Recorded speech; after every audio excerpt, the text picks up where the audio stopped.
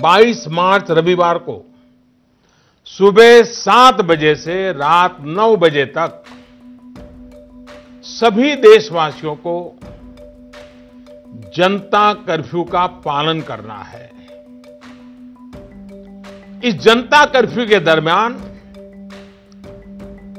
कोई भी नागरिक घरों से बाहर न निकले, न सड़क पे जाए, न मोहल्ले में या सोसाइटी में इकट्ठे हो। अपने घरों में ही रहे। हाँ, जो आवश्यक सेवाओं से जुड़े हुए हैं, उनको तो जाना ही पड़ेगा। पिछले दो महीनों से लाखों लोग अस्पतालों में एयरपोर्ट पर, दफ्तरों में, शहर की गलियों में, दिन रात काम में जुटे हुए हैं। रविवार को, यानी जनता कर्फ्यू के दिन, शाम को ठीक पाँच बजे, हम अपने घर के दरवाजे पर खड़े होकर, या बालकनी में, या खिड़कियों के सामने खड़े होकर पाँच मिनट तक ऐसे लोगों का आभार व्यक्त करें। ताली बजा करके, थाली बजा करके, घंटी बजा करके। सरकार ने एक Covid 19 economic response task force, इसके गठन का फैसला लिया है। ये टास्क फोर्स सारे स्टेक होल्डर से नियमित संपर्क में रहते हुए फीडबैक लेते हुए, हर परिस्थिति का आकलन करते हुए निकट भविष्य में फैसले लेगी।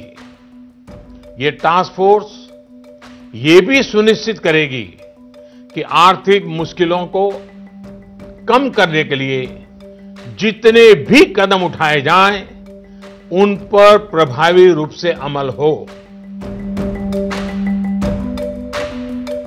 हमारे हॉस्पिटलों पर दबाव बढ़ना नहीं चाहिए,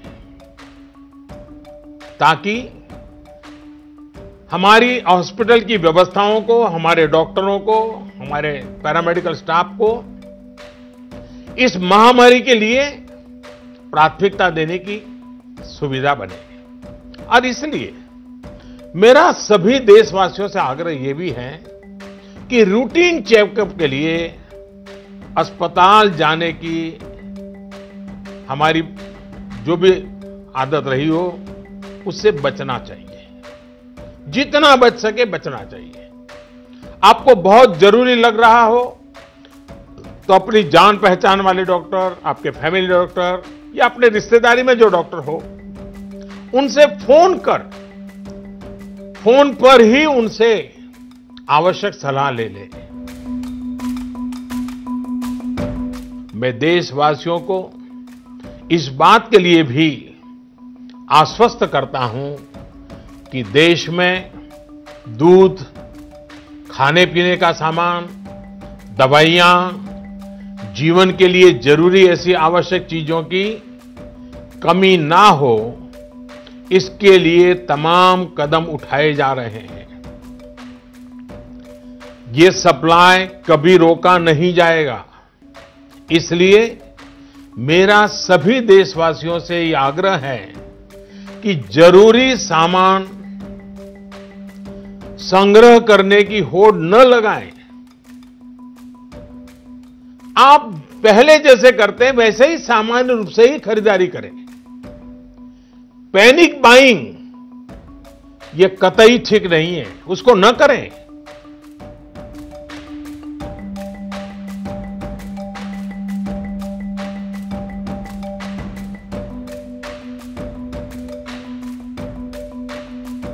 Liked the video?